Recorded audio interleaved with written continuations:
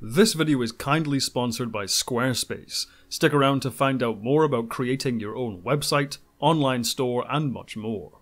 So, I know some of you saw the thumbnail and title of this video and went, What? What the f-? So, just to clarify my own opinions on the latest season of Doctor Who, I thought it was a complete mess. In some ways, it was a big improvement over the previous two seasons, but many of the problems which existed previously have not only remained, but actually gotten worse. In a previous video of mine, I suggested a way for current Doctor Who to be improved would be to make it fully serialized. Chris Chibnall seemed to have a problem with overstuffing his episodes with too many characters and sci-fi concepts, which struggled for room to be fully explored. This often led to contrived plot resolutions and one-off supporting characters getting all the development while our main companions fell by the wayside. Which is why I believe the show becoming fully serialized would give much more room for everything to breathe. Episodes would be able to fully explore concepts leading to better plotting, and we'd have more room to properly develop the main characters. That's why I was excited to hear about a six parter on the horizon. But rather than a serialized story giving the show more room to breathe, instead it just became even more overstuffed with characters who distracted from the main companions, sci fi concepts which were utterly confusing and nonsensical, and plotting which felt even more messy and contrived. Now, as always, if you're a fan of this era of the show, I'm not here to tell you that your opinions are wrong or anything like that. I think it's awesome there are a lot of fans who love this era, and I really do wish I could enjoy it as much as they do.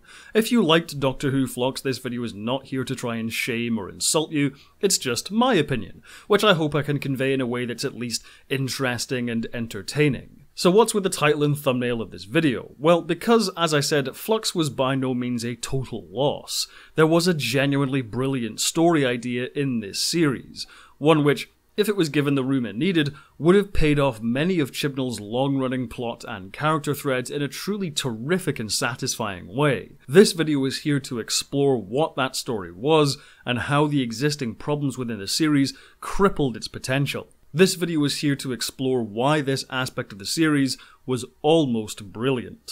But first, ad time. This video is sponsored by Squarespace. As someone whose livelihood is primarily on YouTube, I know it's always a wise policy to carve out your own space online with a website, store, or portfolio of work. Squarespace is ideal if you want to create a website quickly and easily. No coding needed, simply select a pre-built fully customizable template and then adjust it to your own style and layout using easy to use drag and drop tools or build one from scratch if that's more your thing.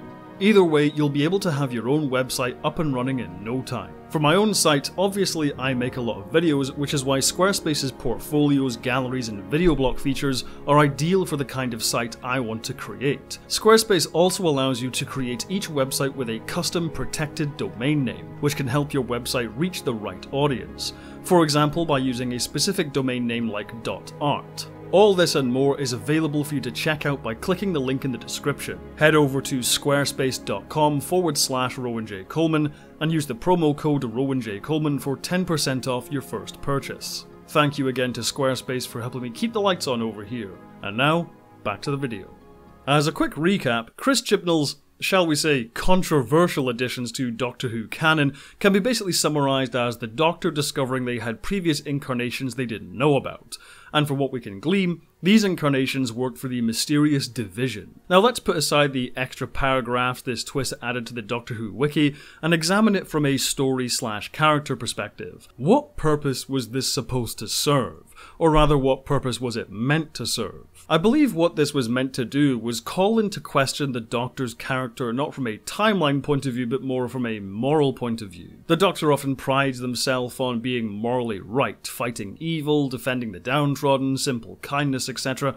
But this hidden past in which the Doctor worked for a nefarious organization out for universal domination clashes with this. It's supposed to make the Doctor wonder if they are truly as good as they thought they were, if they have the capacity to do the harmful acts they committed in these older incarnations, and if ultimately they've done far more harm to the universe than good. That's what I believe the intention was with this twist. However, here it already has a few problems.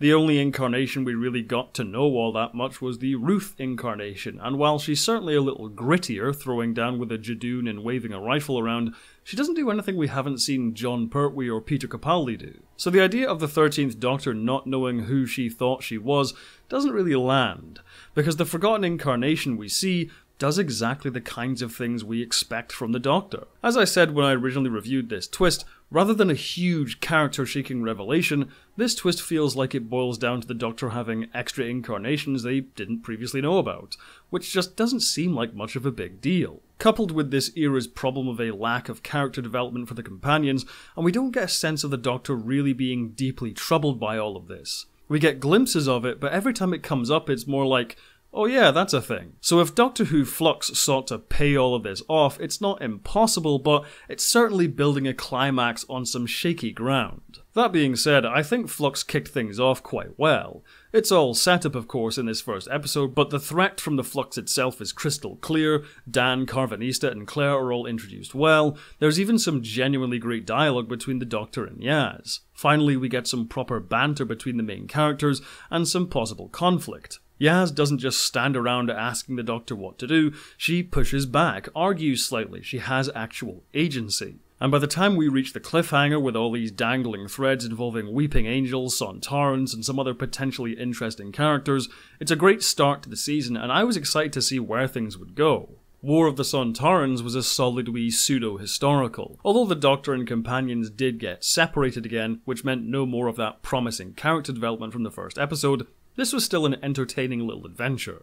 The revamped design for the Sontarans is excellent, perfectly blending the classic Who design with the design seen in the Russell T Davies era, and the production values in general were top notch. The mystery of the flux itself wasn't furthered all that much, but that's to be expected this early in the season. The Doctor knows the Sontarans aren't responsible, they're merely taking advantage of the situation, and she gets some possible clues for where to look next. Thus far, I felt confident in my own assertion that serializing Doctor Who would help Chibnall showcase his strengths. It seemed right on the money. But then, Once Upon Time happened. This was the episode where I straight up had no fucking clue what the hell was happening.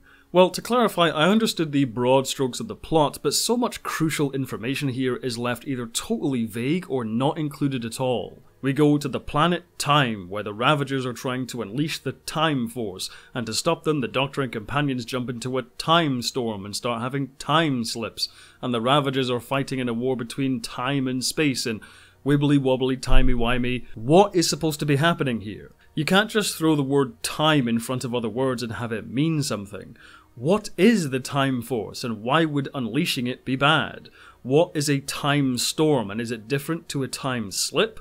I understood the characters were jumping into various timelines, alternate and otherwise, like that Farscape episode, but why do they keep seeing each other playing different people in their own timelines? The Ravagers were initially interesting with a memorable design, but this episode basically cemented they have nothing to do with the Flux, and their own evil plan, as far as I'm concerned, is completely incomprehensible. The Flux was already destroying the entire universe, but now we have these two trying to unleash the Time Force, which again, what is that?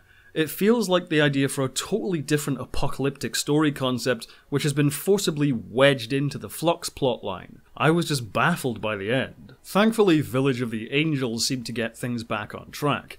I think most fans agree the Weeping Angels have yet to be topped from their first episode, and honestly, as iconic as they are, they probably shouldn't have returned for more episodes after Blink. But to my surprise, the Weeping Angels were pretty damn good in this episode. Not on par with their first appearance, but they still felt genuinely threatening, and the ongoing siege made us wonder how in the hell the Doctor was actually going to get out of this alive. Meanwhile, Yaz and Dan being trapped in an older version of the village, seemingly floating in space, was a brilliant image. It really reminded me of that dark fairy tale style of sci fi Steven Moffat often excelled at during his reign as showrunner. But finally, after this, we get to Survivors of the Flux, and this is where that almost brilliant in the title of this video comes from. At last, we learn who created the Flux and why, and if the Doctor can stop it.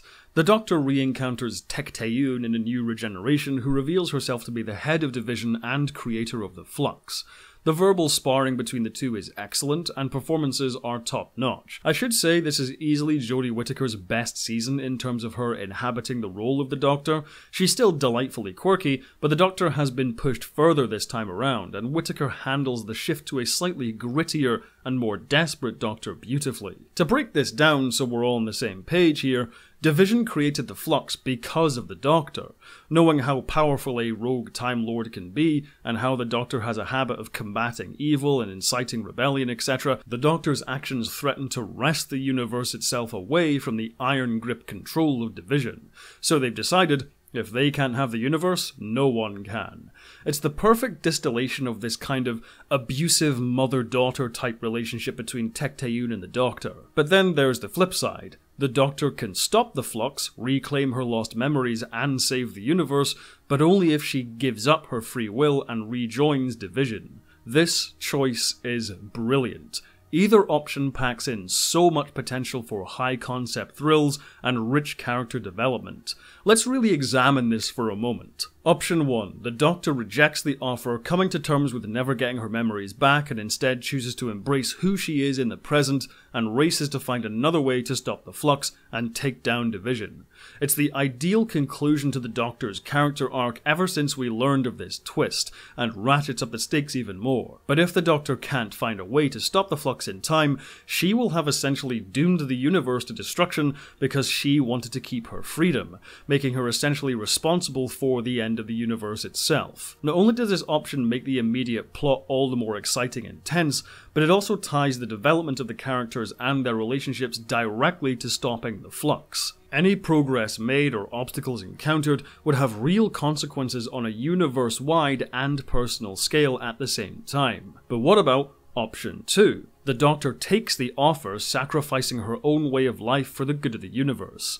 Yes, the flux would be stopped, but the Doctor would have to say goodbye to her closest friends, give up her freedom, and commit to working for an organization which basically stands against everything she stands for. This option flips the scope of the plot on its head. The universe ending threat is dealt with, but the true climax of the story would be far more personal and introspective. Minor spoilers here for Eve of the Daleks, but the long running fan desire to see a romance between Yaz and the Doctor has finally been confirmed in that story, and I bet good money the writers already wanted to do that for quite some time. So, can you imagine how heartbreaking it would have been to see the Doctor have to say goodbye to Yaz in order to stop the flux? Remember the end of Doomsday? Huh? Huh? Perhaps this could even set the stage for Yaz basically saying fuck this and spending the finale launching a mission to rescue the Doctor. Maybe using all the allies found along the way, perhaps even some enemies, as they certainly don't want to be controlled by Division either. Wouldn't that be amazing? But then the Ravagers show up and ruin everything. Tecteun is killed, the Doctor never gets to choose anything, and now the Ravagers are going to use the Flux to destroy the universe anyway. The show basically swapped out one potentially very interesting villain with an apocalyptic superweapon for some far less interesting and quite confusing villains with the same apocalyptic superweapon. Except apparently them using the Flux is somehow worse, but again, when your stakes are as high as the whole universe will end, you can't really escalate beyond that. And to be fair, the options presented to the Doctor still have their problems. Division, while all encompassing and terrifying in concept, just doesn't feel like much of a threat. We know they employ Weeping Angels as hit squads, and that's certainly bad, we can all agree, but the Weeping Angels were already established villains. We don't really see Division itself do anything especially evil, at least not anything worse than your standard monster or conspirator of the week. I feel like this could have been foreshadowed a lot better by taking a leaf out of some Pertwee era master antics, where seemingly unrelated evil plots were found to have been created by him. Introduce Division maybe as the puppet masters of Spyfall or Can You Hear Me, that kind of thing. That would make the prospect of the Doctor being forced to work with them really scary. For option 2 to work, we really need that strong relationship between Yaz and the Doctor, and hints of their true feelings for each other. Again, the Dr. Rose thing. But we've only gotten flashes of their relationship so far, and Flux didn't help itself by having Yaz and the Doctor constantly being separated from one another when they should be developing as characters together. And finally, as mentioned before, the Doctor being haunted by her hidden past should have been a way bigger deal so that when she is presented with this offer from Division, we understand what accepting or rejecting those lost memories really means to her. Because even when she gets the memories back, she just drops them into the console, possibly to never be discussed again. The actual finale we got presents us with a lot of spectacle, but with none of the emotion. Once again, we're back to the companions just standing around while the Doctor breathlessly yells what to do at them. Division is virtually forgotten by the end, the Ravagers are defeated with ease, and the Grand Serpent, Vinder, and Bel really didn't need to be here at all. Hijacking the Sontarans' own plan to defeat them, the Daleks, and Cyberman, and absorbing the flux using the passenger is clever enough, I suppose, but again, just doesn't carry much emotional weight. The final scene between Yaz and the Doctor gives us a glimpse of that missing emotional investment. Had this relationship been put at the forefront of the series instead of getting bogged down in superfluous side characters and unnecessary villains, Flux could have easily been an awesome season of Doctor Who. The pieces were there, they just didn't click into place. Instead, Doctor Who Flux ultimately collapses under its own weight, but for a moment there, it was almost brilliant. Thank you for watching. If you like these videos, subscribe and hit the bell icon to stay up to date on my new uploads. If you want to help the channel grow, join my patrons or my YouTube members, where you can see videos early as well as some other exclusive content. Speaking of which, I'd like to quickly thank all of my patrons and members who are now appearing on screen. Have a good one, and as always, live long and prosper.